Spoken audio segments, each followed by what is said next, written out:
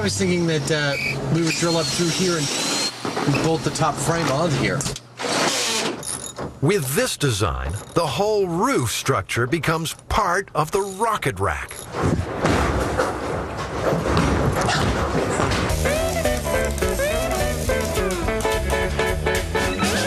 Turns out besides this legend, other people have strapped rockets to cars before, haven't they? Yeah, there are um, uh, world speed records that have occurred uh, by using this. In 1965, Walt Arfons built the first rocket-powered land speed car. Wingfoot Express 2 was initially designed with 10 JATO units, but that wasn't nearly enough.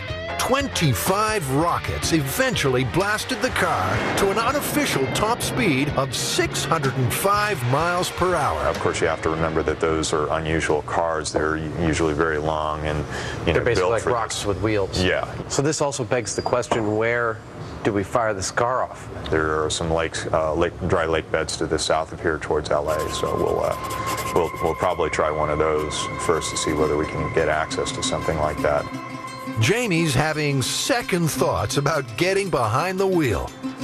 If this behaves like the legend says, i it's we're going to have a 3,000, 3 to 4,000 pound projectile out there.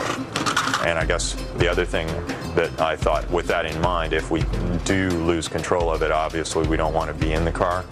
So we're probably going to. Uh, I You don't want to be in the car? I would love to be in the car, um, but I uh, think you should drive the car. well, I, I I think I should too. But we've radio-controlled cars before, and it's a lot of fun. Oh, so we'll make it radio controlled. Yeah, yeah. I think that's the safest way of dealing with it. Oh, that's you know, the coolest toy ever. Yeah, this is a it's a big kid's uh, RC car. You want to do it? It's not quite as simple as a radio controlled toy.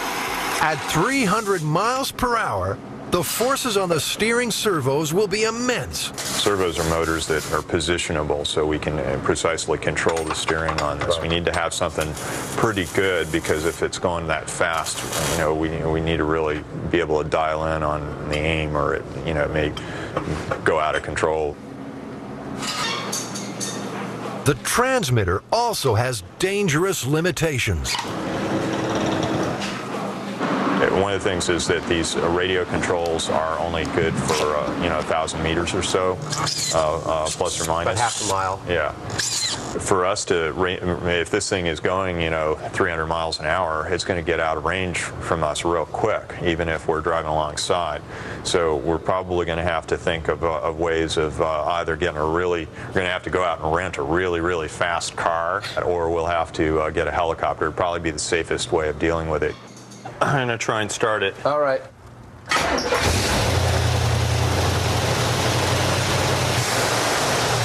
yeah!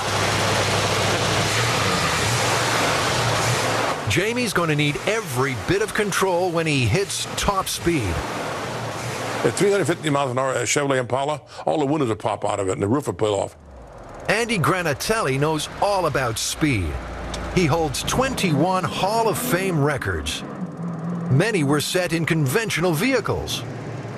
He claims the top speed for a street machine, an awesome 241 miles per hour.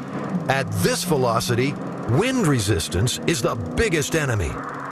The uh, car would become airborne at a little over 200 miles an hour. The car would just raise the front of it up and would flip over. In other words, because the air would get underneath the front of the car. Yeehaw! Jamie plans to use the Chevy's hydraulics to combat those forces.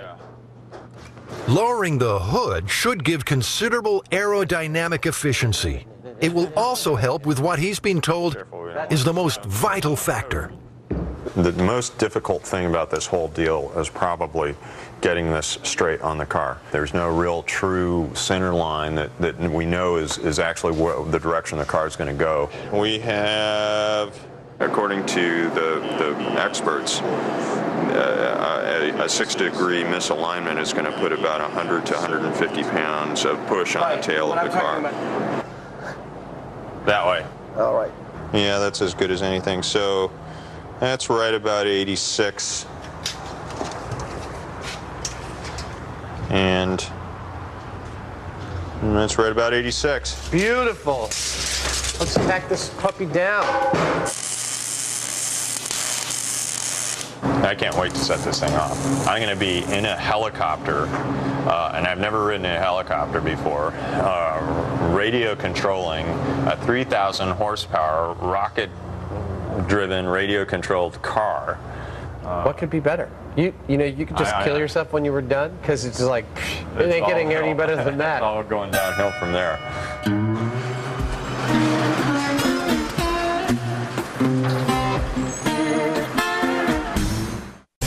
Discovery Channel. Hi, I'm Andy Granatelli, and you're watching Mythbusters.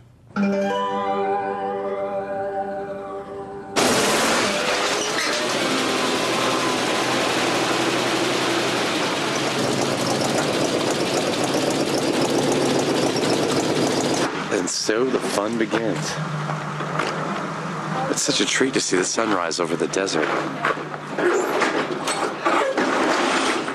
What am I saying? It's a treat to over a rocket car in the desert.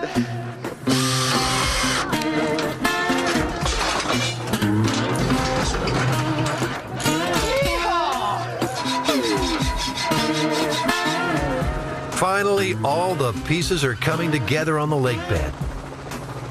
With a bit of luck, we'll soon know if the JATO rocket myth is indeed possible. I'm just setting the fail-safe on this. These radios actually uh, uh, leave a s- an instruction with the receiver uh, to return to a certain position if they should lose uh, communication. Jamie will be joined in the chopper by Eric Gates. He and his brother Dirk have over 20 years' experience in amateur rocketry. They plan to fire the motors by remote control.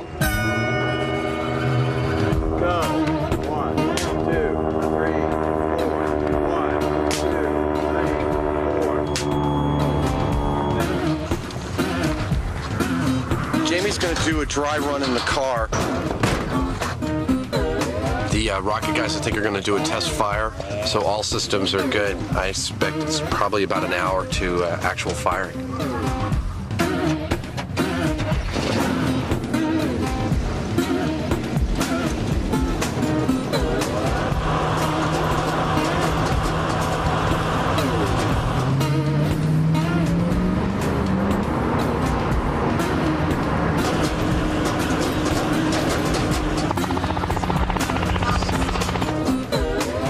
Remote control and failsafe are working perfectly. Well, you know, I'm uh, I'm not at all happy. Uh, the reason being that uh, that unless something goes wrong on the first test, uh, it makes me nervous because that means something's going to go wrong later. How you doing, Adam Savage? If this new visitor is right, Jamie may just get his wish. I looked at it, the, the mount's not strong enough, number one. The mount's not straight either. uh, And we oh- warned them about straightening the mount. It's got to be dead straight or it'll steer the car all the time. George should know. Not only did he work on the Apollo program, From the rocket he's conducted numerous speed trials out here. Eight points welded into the frame of the car. I hope it works. I mean, you know, because I don't want you to dig up my leg bed. Not exactly comforting words for our final briefing. The helicopter's going to do a pass around just like we did the last time. About the time that it passes in front of the car, I've released the brakes, and the car is going to start to roll. Like the myth, to- to our plan is to as- get the as we're car up to 80 miles per hour before firing the rockets. Giving it a lot of gas. When the motors go, they're going to have a tendency to scare you. So when you're hearing the three, two, one, brace yourself. Don't veer. Sound like a jet engine. It's gonna get a 15 foot flame out the back. 15. Let's have a good bird, man. Get your game face on. This is so exciting. cardboard box at the front of I'm gonna have to have a grinectomy.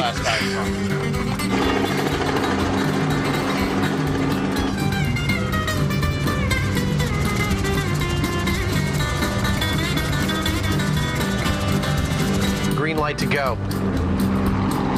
They're starting their circle now. Brakes are coming off. We are a go. Nothing's happening. We're aborting? We're aborting. We are aborting. We are aborting.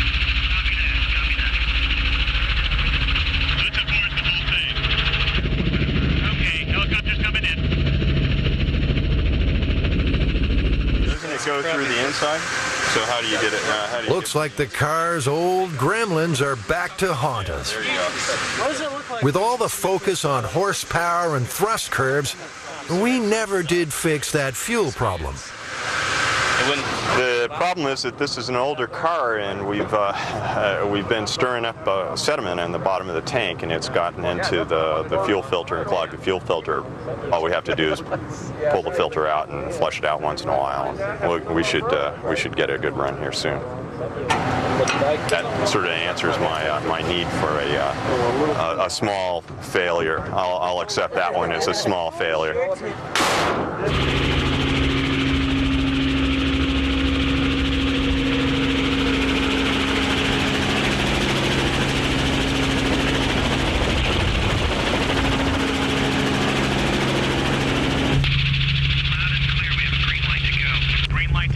and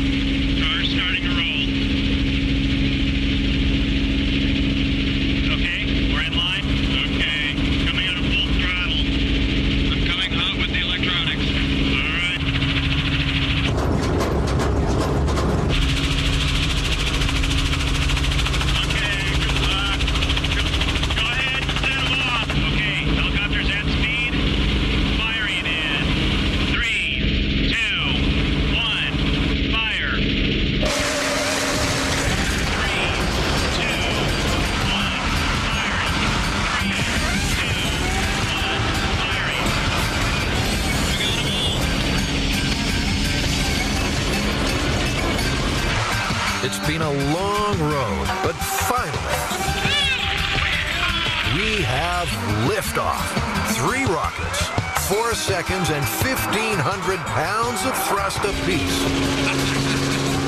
That's 3,000 horsepower for 12 seconds.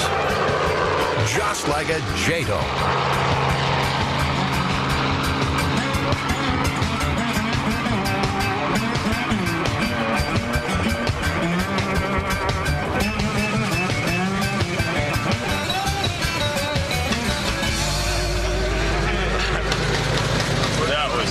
Hysterical. That was absolutely outrageous. What kind of speed do you think it got to? I don't know. The helicopter was having trouble keeping up with it. The chopper's top speed is 130 per hour. Hey! that was beautiful. We lost track of it. Oh yeah, it just it was, uh, we couldn't keep up with it with the helicopter. It just once those those things those suckers lit, lit it just like. It's one thing to see him go up, it's another thing to see him go horizontal. Leave you guys in the dust. Just the dust trail from the car. It's so beautiful. I was quite impressed. I, I, uh, I was hoping it would go good, and it did. You know, I was a little apprehensible, but no, no. Jamie did his homework. The years, many have claimed they were the inspiration for this story. For those who really tried it, the results were the same. In 1957, Dodge was filming an ad on this same lake. They replaced the gas tank with a single JATO bottle. The car topped out at 140 miles per hour. So, Jamie, given the structure of the original myth that uh, the guy ignited the rocket, accelerated to like 350 miles per hour, supposedly hit the edge of a curve of the road, and was airborne for several seconds before hitting the side of a cliff, do you think it's possible? Didn't happen. Yeah. They'd have to have at least around four times the power that we did. Back in 46, Andy Granatelli and his brothers did just that. They put eight JATOs on an Indy racer. The explosion was horrendous, and the thrust was such that you couldn't believe it. We looked at each other as if we were going to, we were going to the moon. The rocket left not a little fizzle like this, but for a lot 300 feet long, for wider than the road and higher than the telephone wires, a tail of fire. And the car accelerated up to approximately 180 miles an hour. I mean, and believe me, I mean, it was unbelievable. Andy's antics may well be the origin of the JATO myth. One thing's for sure